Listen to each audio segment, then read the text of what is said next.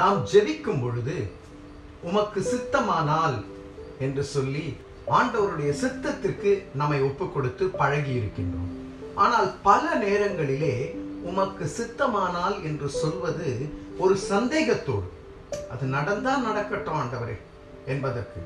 ஆனால் அந்த மனப்பாங்கை ஆண்டவர் விரும்புவதில்லை. அவருடைய நாமத்தின் மீது விசுவாசம் உள்ளவர்களாய் அவரை ஏற்றுக்கொண்டவர்கள் எத்தனை பேர்களோ அத்தனை பேர்களும் ஆண்டவருடைய பிள்ளைகளாகும்படிக்கு அவருக்கு அதிகாரம் கொடுத்திருக்கின்றார். உலக பிரகாரமாய் பொல்லாதவர்களாகிய நாம் நல்ல ஈவுகளை நம்முடைய பிள்ளைகளுக்கு கொடுக்க அறிந்திருக்கும் பொழுது பரமபிதா கொடுப்பது அதிக நிச்சயம். அப்போ ஆண்டவருடைய பாதப்படியிலே பிதாவினிடத்திலே என் நம்முடைய அப்பாவினிடத்திலே நாம் கேட்கும் பொழுது தைரியத்தோடு கேட்க அழைக்கப்பட்டிருக்கின்றோம். என் அப்பாவிடத்திலே நான் பயந்து பயந்து கேட்பேனே ஆனால் எனக்கும் அப்பாவுக்கும் உள்ள உறவு சரியில்லை.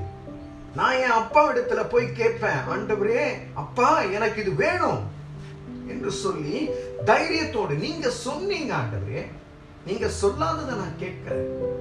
ஏசாயா ஐம்பத்தி மூன்றாவது அதிகாரம் ஐந்தாவது வசனத்தை நாம் எல்லாரும் அறிந்த வசனம். நம்முடைய மீறுதல்களின் நிமித்தம் அவர் காயப்பட்டார் நம்முடைய அக்கிரமங்களின் நிமித்தம் அவர் நொறுக்கப்பட்டார். நமக்கு சமாதானம் உண்டு பண்ணும் அக்கினை அவர் மேல் வந்தது. அவருடைய தழும்புகளால் குணமாகிறோம். அப்போ பழைய ஏற்பாட்டிலே தீர்க்க தரிசனமாய் சொன்ன வார்த்தை அவருடைய தழும்புகளினாலே குணமாகிறோம் என்று சொல்லி.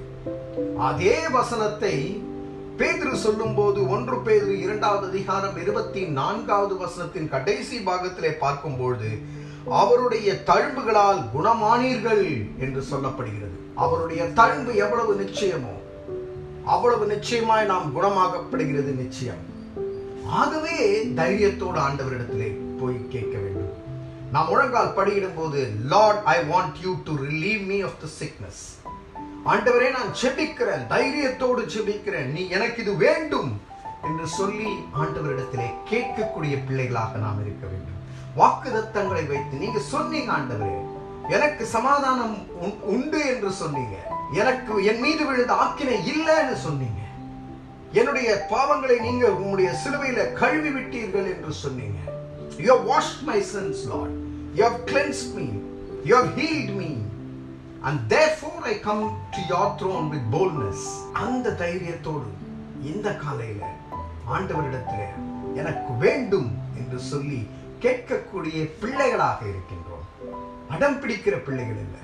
உரிமையோடு கூட என் அப்பாவின் இடத்தில் கேட்கிற பிள்ளைகளாக என்னுடைய ஃப்ரெண்டு நான் இப்படி உமக்கு சித்தமானால் என்று ஜெபிக்கும் பொழுதெல்லாம் அவங்க சொல்லுவாங்க அப்பா கிட்ட தானே கேட்குறீங்க?